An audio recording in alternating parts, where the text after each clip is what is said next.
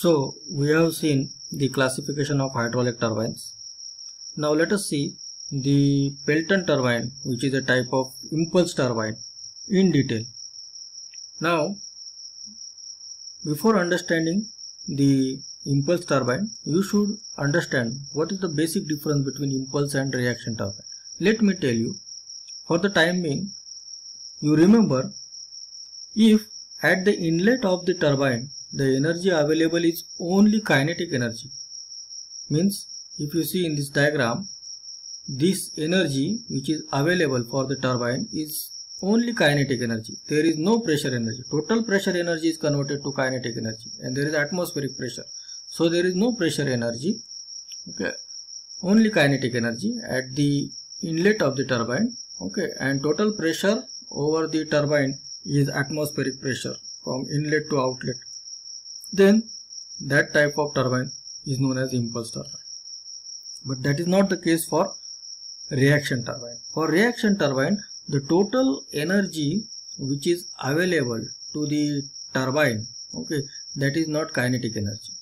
It is a mixture of kinetic and pressure energy. So pressure energy is partially converted to kinetic energy okay and pressure energy. Means pressure energy is not totally converted into kinetic energy as in case of impulse turbine. So in reaction turbine so pressure is reduced okay step by step. So pressure energy is partly converted into kinetic energy and partly it is remaining as pressure energy. And then that remaining pressure energy plus kinetic energy is converted to do you can say mechanical energy. So the pressure over the turbine is not atmospheric. In that case there is a pressure over the turbine also so in case of impulse turbine the pressure is atmospheric pressure across the complete turbine. But in case of reaction turbine the pressure is not atmospheric pressure. It is the uh, pressure greater than the atmospheric pressure.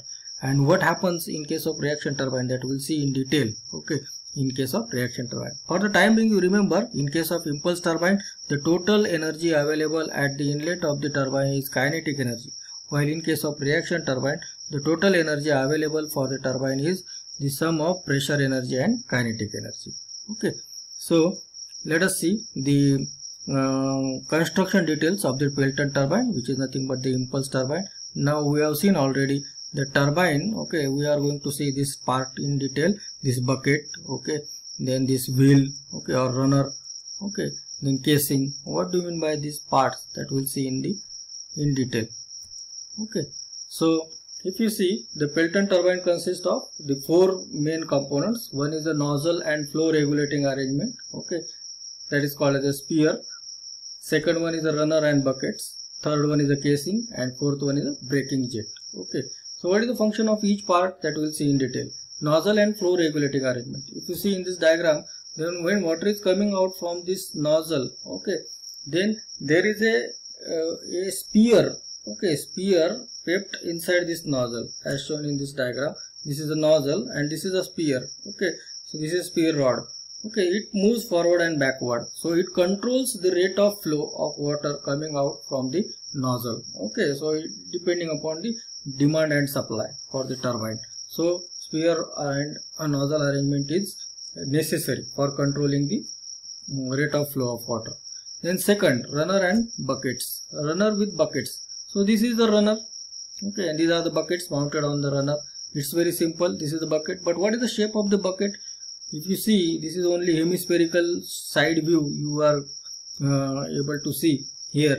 But this is the complete, uh, you can say the front view for the bucket okay so it is a hemispherical uh, two half okay two hemispheres are connected here okay across the section zz okay so it consists of a circular disc on the periphery of which number of buckets are evenly spaced the shape of the buckets is of double hemispherical cup or bowl okay? Uh, so uh, there is a splitter. To split the water okay when it is heating it is firstly heating it to the splitter. So water is coming half to this side and half to this side. So at this is the inlet point this is the inlet point and this is the outlet point for a turbine. So if you see this is a diagram for the bucket. Okay this is a hemispherical bowl type bucket. So water is first heating at the center and then it is coming out from the bucket like this. And then we are going to construct the velocity triangle for this hemispherical bucket. Okay so that we'll see in detail. Then next is a casing. Casing is uh, nothing but it is uh, it, is it's it is not having any hydraulic function.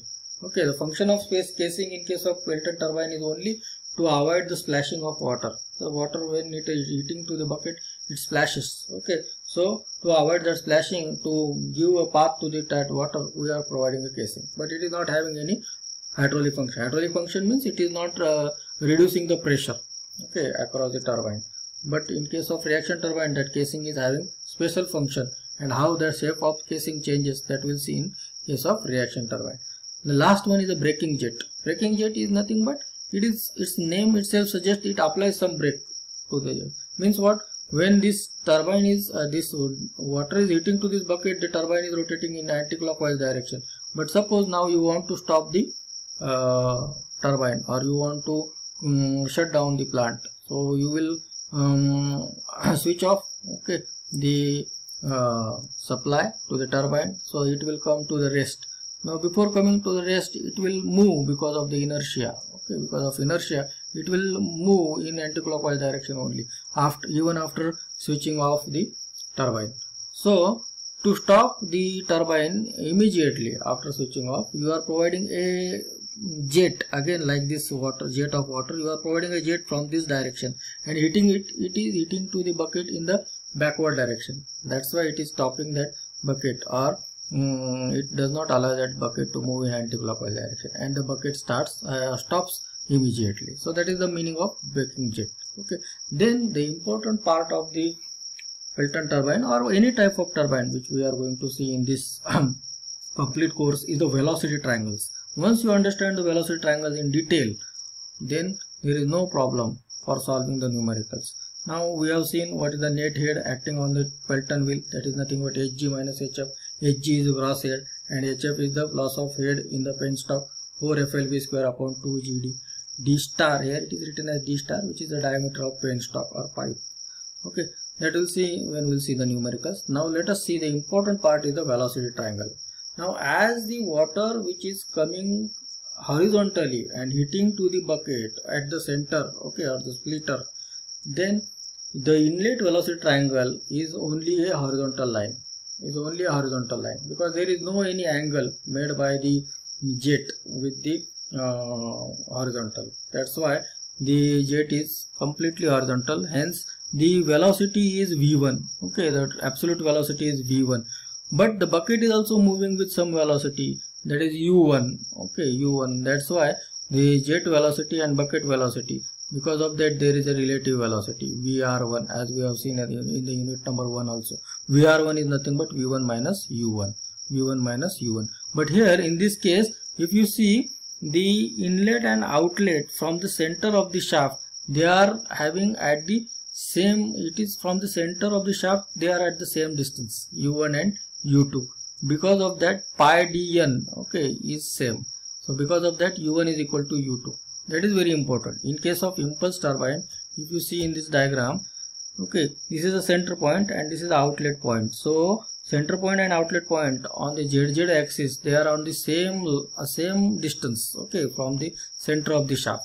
They are at the same distance. Because of that u1 is equal to u2 that is equal to pi dn by 60 that's why you have to take care while calculating u1 and u2 both are same which are not same in case of reaction turbine so this is the speciality of the Pelton turbine. So then this is VR1 then this V uh, this water when it comes out of the uh, bucket it is going at uh, with the velocity relative velocity again VR2 making an angle phi as we have seen already. Then this is a uh, v v2 which is nothing but the absolute velocity okay which is less than the, the, the inlet velocity v1 so because the kinetic energy is utilized so v2 is less than v1 and then this is the relative uh, vr2 relative velocity absolute velocity v2 so there is a uh, bucket velocity u or u2 that is shown. And in between we have seen that in between vf2 and V2 there is VW2 in between VF2 and V2 there is VW2 and in between V2 and VR2 there is U2 U2 that you have to remember. In between vf2 and v2 there is vw2 and in between v2 and vr2 there is u2 okay. So beta is the angle made by absolute velocity with the horizontal. So vr2 is equal to vr1 because there is no any uh, friction across the bucket. If friction is given then vr2 will be less than vr1 let us assume that there is no friction. Then vw2 according to trigonometry vw2 is nothing but vr2 cos phi. Vr2 cos phi minus u2 vr2 cos phi minus u2 so that you will calculate vw2 okay then the force exerted by the jet of water in the direction of motion is given by the equation. As we know force is equal to rho vr2 cos phi minus u2 that is vw2 then the force exerted by the jet of water in the direction of motion we know fx is equal to rho a v1 into vw1 plus vw2 as phi is less than 90 degree. So uh, uh, the angle beta is uh, uh sorry beta is less than 90 degree so it is positive okay so it may be plus minus depending upon the angle beta. Then area a area of jet is pi by 4 d square. Okay. Next we'll see the work done. Okay. Force is calculated. Area is known. So force into u that is the runner velocity will give you the work done. So rho a v1 into vw1 plus vw2 into u upon 1000 kilowatt will be the work done or power. Okay. So this is the power then the kinetic energy supplied because we want to calculate the hydraulic efficiency. Hydraulic efficiency is given by work done per second upon kinetic energy of jet per second. So it is rho a v1 into bracket vw1 plus vw2 into u upon half rho a v1 cube. And if you simplify it you will get it 2 times vw1 plus vw2 into u upon v1 square. So this is the hydraulic efficiency the expression for hydraulic efficiency. In case of Pelton turbine that you have to remember carefully where vw1 is v1 minus u okay? And vw2 is vr2 cos phi minus u. Vr2 is again vr1 which is vr1 is nothing but v1 minus u okay? So vw1 is not v1 minus u sorry. Vw1 is v1 and vw2 is vr2 cos phi minus u which is vr1 cos phi minus u. Vr1 is v1 minus u. That's why vw2 is v1 minus u cos phi minus u so if you put the value of VW1 and VW2 as V1 and V1 minus U cos phi minus U respectively in this formula, we will get the hydraulic efficiency as 2 times V1 minus U into bracket 1 plus cos phi into U upon V1 square. So this is the hydraulic efficiency. Why we have obtained this expression in terms of U? Because we want to obtain the condition for maximum efficiency. If you remember, we have obtained the condition for maximum efficiency okay in case of the flat plate series of flat plates and series of curved vanes okay for series of flat plates it was coming as 50 percent. For series of curved vanes it was coming as 100 percent. Now let us say in this case if you take the derivative of hydraulic efficiency with respect to u okay and equate it to zero you will get here 1 plus cos phi is constant 2 you can take constant outside and you can take v1 into u minus u square okay v1 square is also constant. So derivative of u1 into v1 minus u square is equal 0 so it will be v1 minus 2u okay that is v1 minus 2u is equal to 0 so u is equal to v1 by 2 so the condition for maximum efficiency is that the velocity runner velocity should be half that of the jet velocity. And if you put this condition of maximum velocity what is the maximum efficiency? Maximum efficiency you will get as maximum efficiency by putting u is equal to v1 by 2 you are getting 1 plus cos phi by 2 1 plus cos phi by 2 so if you see this derivation clear carefully it will be 1 plus cos phi by 2 so if phi is equal to 0 degree okay 0 degree then you will get 1 plus 1 cos 0 is 1 so 1 plus 1 2 by 2 so it is 100 percent. So maximum efficiency will be 100 percent near about 100 percent. But phi is never 0 it is somewhat 10 to 20 degrees. That's why but it is near to 100 percent. 98 to 99 percent is the maximum efficiency of hydraulic efficiency in case of the hydraulic turbine Pelton turbine. That's why the hydraulic turbines are having maximum efficiency. Now we'll see the um, which are the formulae that you have to remember while um, going for the numericals for Pelton turbine. So the velocity of jet we know v1 is equal to cv into under root 2 gh okay where cv is 0.98 to 0.99 this is called as the coefficient of velocity so other terms we'll see in the next lecture. Similarly numericals also we'll see in the next lecture. Thank you.